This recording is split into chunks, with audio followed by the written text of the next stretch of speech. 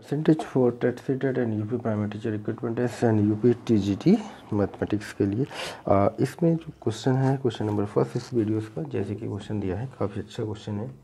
चार घंटे तीस मिनट चार घंटे तीस मिनट एक दिन का कितने परसेंट है? कितने परसेंट है? ठीक है। चार घंटे तीस मिनट एक दिन का कितने परसेंट है? तो इस टाइप का question U P T mathematics में आ जाया करता है कभी कभी ठीक है? तो एक दिन एक दिन यानी कि एक दिन बराबर चौबीस घंटे ठीक है? चौबीस गुणा एक घंटे में साठ मिनट हम्म, तो टोटल मिनट में कन्वर्ट कर ले रहे हैं। यहाँ पे चार गुणा साठ प्लस का तीस दो सौ चालीस प्लस का तीस यानी कि दो सौ सत्तर मिनट हो जाएँगी। और यहाँ भी मिनट निकाल लेते हैं। छः चौबीस चार अस्सी दो छः बारह दो चौदह इतने मिनट हो गई ठीक है चौदह सौ चालीस मिनट। अब निकालनी है परसेंटेज ये इसका एक दिन का कितने परसेंट है? यानी कि चार घंटे चार घंटे तीस मिनट। अपन एक दिन, एक निकालना इंटू हंड्रेड के टर्म में लिया जाएगा तो परसेंटेज निकल पाएगी। परसेंटेज बराबर। तो ये अगर दो सौ सत्तर बटे चौदह सौ चालीस इंटू हंड्रेड ज़ीरो से ज़ीरो कैंसिल हो गया।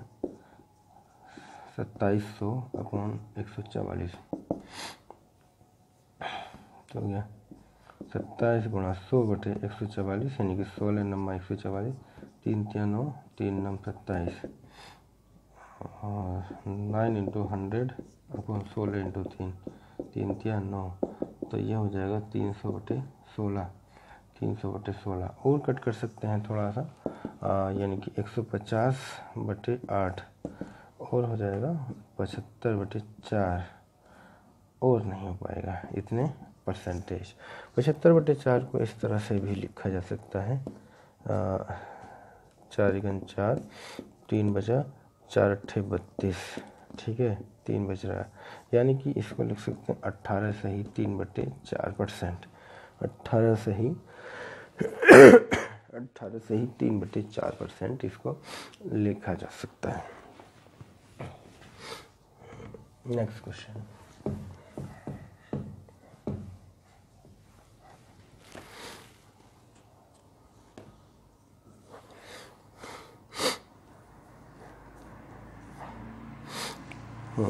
एक व्यक्ति तीन सौ पैंतीस सौ रुपये प्रति माह खर्च करने के बाद पैंतीस सौ रुपये प्रति माह खर्च करने के बाद मासिक आय का बारह से एक बटे दो परसेंट बचाता है। तो उसकी मासिक आय कितनी होगी? ठीक है तो मासिक आय फाइंडिंग करना है, मासिक आय उसकी क्या होगी? यानी कि क्वेश्चन है पैंतीस सौ रुपये खर्च करता है।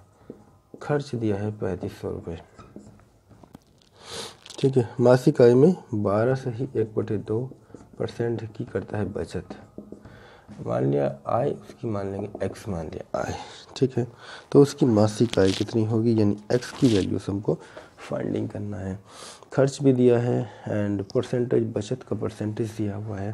तो बारह से ही एक बटे दो, यानी बारह दूनी चौबीस, अरे पच्चीस पच्चीस बटे दो परसेंट है बचत। तो बचत इक्वल होगा एक्स का पच्चीस बटे दो परसेंट, यानी एक्स इंटू पच्चीस बटे दो अपॉन हंड्रेड हो जाएगा। तो बचत इक्वल होगा एक्स इंटू पच्चीस बटे टू इंटू हंड्रेड पच्चीस चौका सौ तो एक्स अपॉन एट हो गया बचत। कुल आय है एक्स यानी कि आय इक्वल टू होता है बचत प्लस खर्च। ठीक है? तो आय है एक्स एंड बचत है एक्स अपॉन एट एंड खर्च है पैंतीस सौ। एक्स माइनस का x upon eight equal to पैंतीस सौ, ठीक है? तो क्रॉस यहाँ एक्स कॉमन लिया वन माइनस का one upon eight equal to पैंतीस सौ। तो यहाँ पे अगर एक्स आठ कॉमन लेते हैं तो यहाँ पे हो जाएगा ये पैंतीस सौ, ठीक है? X into seven by eight equal to पैंतीस सौ। सात पाँच सौ हो जाएगा। X upon eight equal to पाँच सौ और x equal to eight into पाँच सौ आठ पंजे चालीस, चार हज़ार जो है उसकी इतने आए हैं। चार हज़ार रुपये आय है। यह भी फाइंडिंग करना था कि उसकी आय कितनी है, ठीक है? नेक्स्ट क्वेश्चन लेते हैं।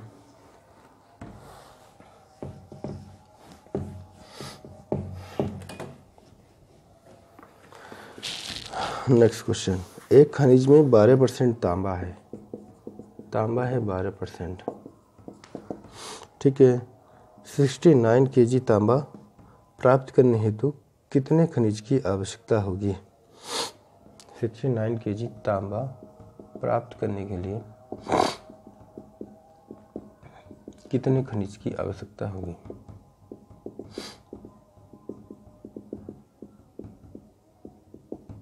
ठीक है, यानी कि खनिज में तांबा बारह परसेंट है, कोई खनिज है, खनिज में तांबे की क्वांटिटी बारह परसेंट पाई जाती है, ठीक है? यानी खनिज जिसको हिंदी में कहा बोलते हैं, अयस्क बोलते हैं हाँ ठीक है? खनिज से खनिज से बारह परसेंट तांबा मिल जाता है, ठीक है? और हमको जो है सिक्सटी नाइन के जी तांबा प्राप्त करना है। अब मान लीजिएगा, माना कितने खनिज की आवश्यकता होगी? खनिज एक्स के जी है, ठीक है? तो एक्स का बारह परसेंट हमको फाइंड करना है equal to ninety sixty nine K G. क्योंकि हमको सिक्सटी नाइन के जी तांबा चाहिए तो एक्स हमको फाइंडिंग करना होगा। कितने खनिज कितने खनिज से 69 नाइन के जी हमको तांबा मिल सकता है। यानी कि एक्स अगर खनिज है तो उसका 12 परसेंट सिक्सटी होगा। 69 नाइन के जी हमको फाइंडिंग करना है तो यहाँ पे एक्स के जी में निकल आएगा बारह by hundred equal to sixty तो चार से काट सकते हैं, चार से बारह, ये पच्चीस बार। एंड एक्स इंटू तीन बटे पच्चीस इक्वल टू सिक्सटी नाइन, तीन दूनी छः, तीन तीन नौ। तो एक्स अपॉइंट पच्चीस इक्वल टू ट्वेंटी थ्री तो एक्स इक्वल टू हो जाएगा पच्चीस गुणा तेईस।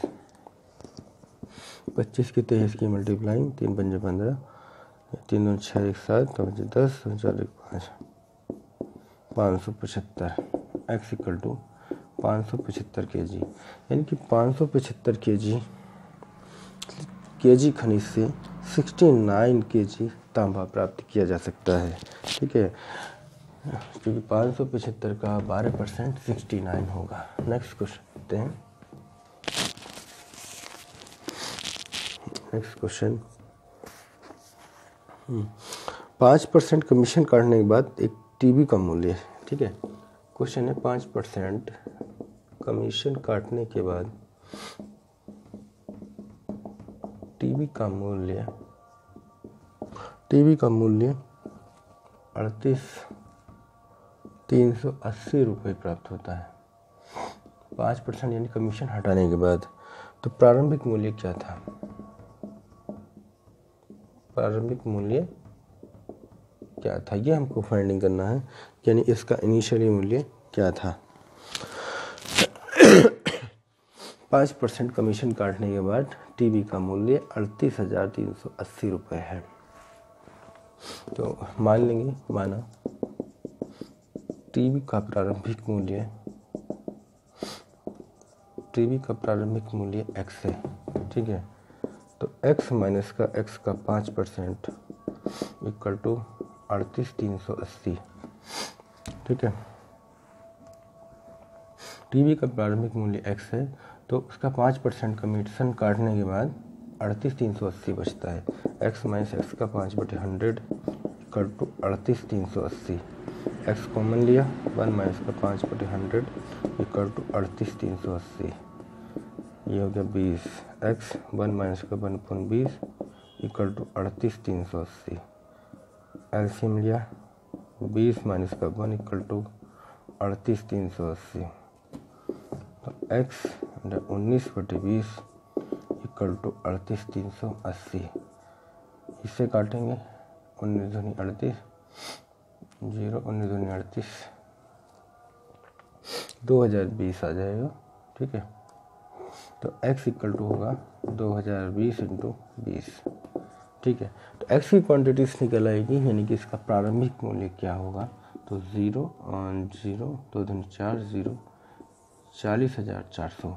चालीस हज़ार चार सौ रुपये उसका प्रारंभिक मूल्य होगा, जिसमें से पाँच परसेंट का कमीशन काटा गया है। पाँच परसेंट का कमीशन काटने के बाद अड़तीस हज़ार तीन सौ अस्सी रुपये में टीवी बेचा गया है। नेक्स्ट क्वेश्चन लेते हैं।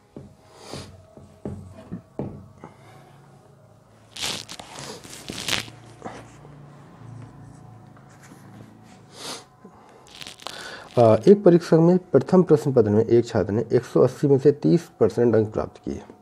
यानी कि एक प्रथम प्रश्न पत्र है। प्रथम प्रश्न पत्र में 180 में से 30 परसेंट अंक प्राप्त किए। एंड दूसरे प्रश्न पत्र में से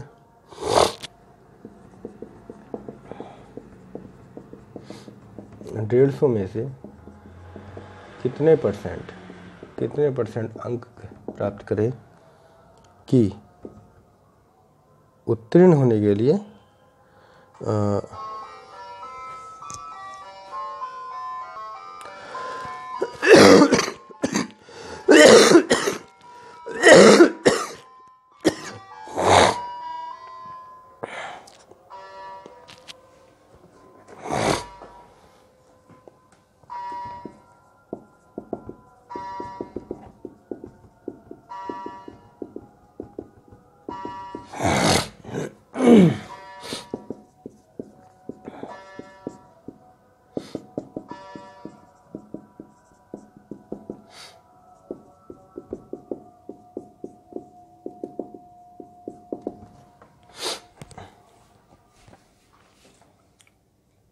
हाँ ये क्वेश्चन था। प्रथम प्रश्न पत्र में 180 में से 30 परसेंट अंक प्राप्त किए। ठीक है? 180 में से कितने प्राप्त किए? 30 परसेंट दूसरे प्रश्न पत्र में 150 में से कितने परसेंट प्राप्त करें कि कुल का 50 परसेंट प्राप्त हो जाए? यानी टोटल का 50 परसेंट मिल जाए। अब देखिएगा 180 का 30 परसेंट, एक सौ अस्सी का 30 परसेंट अंक प्राप्त कर रहा है। डेढ़ का कितने, यानी कि एक्स परसेंट करें, और कुल का, यानी टोटल का पचास परसेंट। तो टोटल का पचास परसेंट यानी दोनों को एक सौ अस्सी को एक सौ पचास को जोड़ लिया उसका पचास परसेंट निकालें। एक्स की क्वांटिटीज निकालना है क्योंकि तीस परसेंट तीस बटे हंड्रेड एक सौ एक्स बटे हंड्रेड इक्वल टू ज़ीरो आठ पर तेरह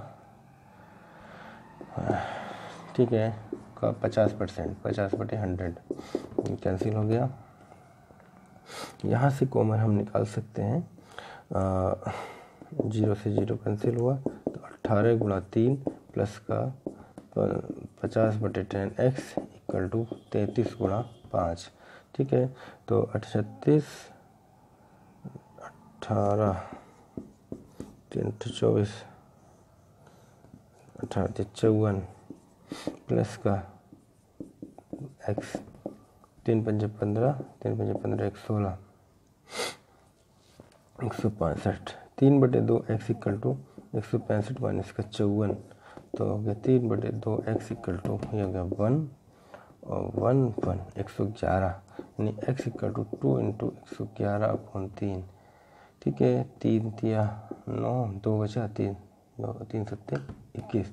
तो x equal to two into thirty seven, दो सत्ते छः और एक सात सेवेंटी फोर। ठीक है, एक्स इक्वल टू आ गया सेवेंटी फोर। तो सेवेंटी फोर परसेंट अंक, यानी डेढ़ सौ का चौहत्तर परसेंट अंक प्राप्त करें तो कुल का पचास परसेंट अंक प्राप्त हो जाएगा।